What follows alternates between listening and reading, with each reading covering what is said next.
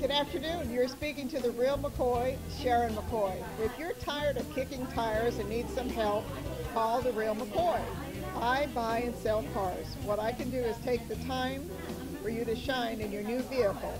If you're looking to save money, save time, call the real McCoy.